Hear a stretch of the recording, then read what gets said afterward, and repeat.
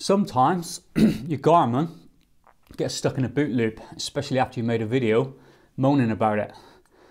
So yesterday, or the other day, I think it was two days ago, it got stuck in a boot loop. What do you do?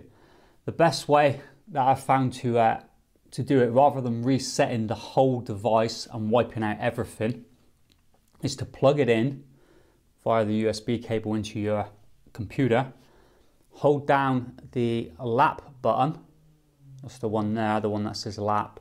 Hold down the lap button and turn it on so that it forces it to go into storage mode or into mass storage mode is what they call it. And then you can go into the start start file or the new files folder, sorry. Go into the new files folder and delete all the files that is in that folder. Empty your trash and then eject the device and that way then your Garmin should boot right back up again.